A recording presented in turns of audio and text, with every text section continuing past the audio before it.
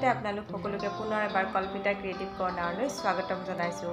আজি মই আপোনালোকক বনাই দেখুৱাম দুটা পেইনৰ ষ্টেণ্ড কিন্তু তাৰ আগতে আপুনি যদি মোৰ ভিডিঅ' প্ৰথমবাৰ চাই আছে তেতিয়াহ'লে প্লিজ ছাবস্ক্ৰাইব কৰি ল'ব তেতিয়াহে আৰু আগলৈ আপোনালোকে ভিডিঅ'বিলাক পাই থাকিব।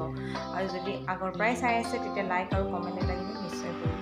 ঠিক আছে আৰু বেছি দেৰি নকৰোঁ চাওঁ আহক আজি আমাৰ পেইনৰ ষ্টেণ্ড।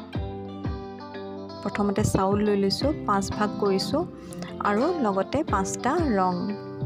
এইটো ভাগতে ৰং মিলাই যাম। মই মিক্স কৰিছোঁ অৰেঞ্জ কালাৰ ফেব্ৰিকৰ ৰংখিনি যদি বেছি ডাঠ হয় অলপমান পানী ব্যৱহাৰ কৰিব পাৰে। বেছি পানী ব্যৱহাৰ নকৰিব কালাৰটো লাইট হৈ যাব।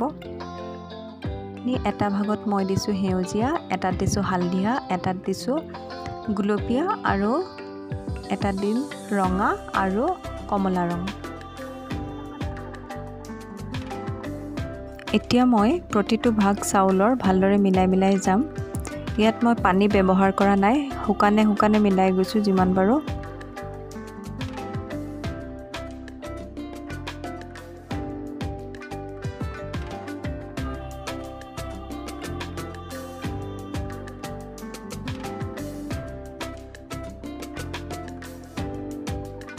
মোৰ গোটেইখিনি চাউলতে ৰং সনা হৈ গ'ল। ৰং সনাৰ পিছত অলপমান শুকাবলৈ দিব। তাৰপিছতে মই এতিয়া গোটেইখিনি চাউল একেখন প্লেটতে লৈ ল'ম।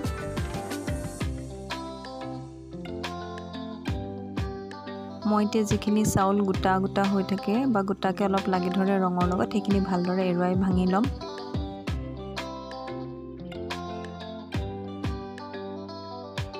এতিয়া মই এটা বাতিত পানী আৰু ফেভিকল ভালদৰে মিক্স কৰি লৈছোঁ। আৰু এইখিনি মই এই কণ্টেইনাৰটো হোৱাইট কালাৰৰ কণ্টেইনাৰটোত সানি ল'ম। আপোনালোকে এই ষ্টেপটো স্কিপো কৰিব পাৰে। ডাইৰেক্ট চাউলখিনি লগাই দিলেও হয় কিন্তু মই অলপ বেলেগকৈ ট্ৰাই এটা কৰি চাইছোঁ। অকণমান টিচু পেপাৰ লৈ লৈছোঁ আপোনালোকে যিকোনো পেপাৰ ল'ব পাৰে। টিচু পেপাৰ লৈ পেলাই টিচু পেপাৰখন থৈ পেলাই তাৰ ওপৰত এই যিখিনি ফেভিকল আৰু পানীৰ যি যিটো মিক্সাৰ বনাইছোঁ সেই মিক্সাৰটো মই ইয়াত সানি যাম। এইখিনি কৰোঁতে মন কৰিব যাতে পানীটো বেছি নিদিয়ে কাৰণ পানীটো যদি বেছি দিয়ে কাগজখন ফাটি থাকিব। কাগজখন লগোৱা হৈ গ'লে অলপমান শুকাবলৈ দিব ভালকৈ। ভালকৈ শুকোৱাৰ পিছতহে চাউলখিনি লগাব। আপোনালোকে এনেই নৰ্মেল যিটো পেপাৰ পায় সেইটো পেপাৰো ব্যৱহাৰ কৰিব পাৰে বা বাতৰি কাগজো ব্যৱহাৰ কৰিব পাৰে। এইখিনি কৰিলে মানে কি হয় চাউলটো ভালকৈ লাগি ধৰে। খন লগোৱা হৈ যোৱাৰ পিছত মই এতিয়া ফেভিকল অলপ ওপৰত দি লৈছোঁ আৰু ভালদৰে মিলাই লৈছোঁ ব্ৰাছৰ সহায়ত চবফালে। আৰু ইয়াৰ পিছতে মই চাউলখিনি ওপৰে ওপৰে দি যাম।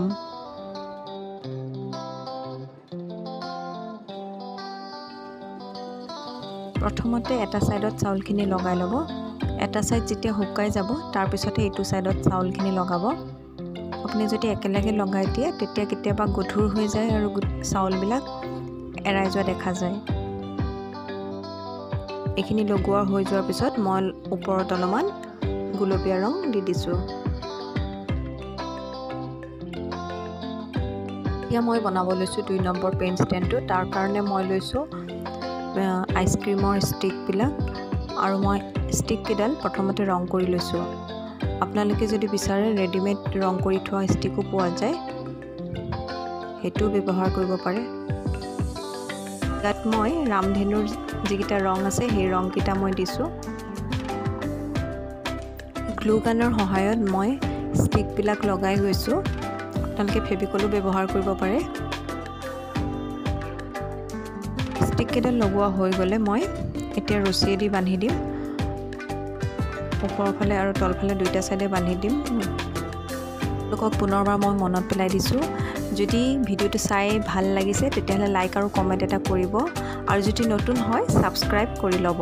এইটো চব এটা ছাইডে ধুনীয়াকৈ হৈ গ'ল। আৰু পিছফালৰ ছাইডটোত মই ব্ৰাউন কালাৰ দিছোঁ। এটা কাঠৰ লুক আহিবৰ কাৰণে। আৰু বেষ্টটোতো মই ব্ৰাউন কালাৰ কৰি লৈছোঁ। এয়া হৈ গ'ল আমাৰ পেন ষ্টেণ্ড ৰেডি একেবাৰে কম খৰচতে ধুনীয়া পেন ষ্টেণ্ড দুটা। ভিডিঅ'টো চোৱাৰ বাবে বহুত বহুত ধন্যবাদ।